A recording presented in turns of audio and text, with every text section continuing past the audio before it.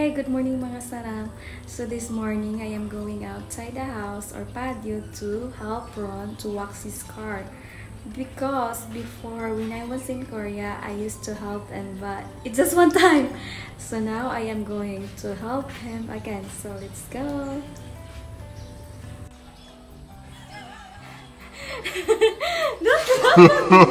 so mga saram, Ron already waxed his car, this one here.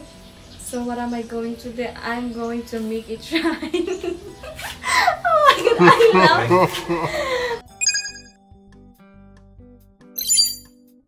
Okay, again. So what I'm going to do is I am going to make it shine. Just kidding. So ngayon, ayan, isa-shine na natin yung car niya na pinakakamahal niya. Mas mahal niya kaysa sa akin. So, where am I going to start? Start on the hood. Here? Yeah, yeah. Start there. But it's still wet, I think. No, it's supposed to be. Okay. What about here too? Just wherever there's wax. The wax is on the There, paint. it's not done here? It's the wax is on the paint, not on the plastic. Here? You mean Yeah, here? that's it. That's you got it. Make sure you get What? Make sure what? make sure you get all the wax off Oh, why? because you're buffing it now. Buffing is really important. Just like this, like this? Is Yeah, that's fine. To make it shine? Make it. shine. You can spread the rag out. Oh, like this, you mean? Yeah, you can. There you go. Why? Because you have more surface. You have you spread your hand out. You get more done. Ah, okay. Don't worry about the roof. I'll do the roof because I'm taller.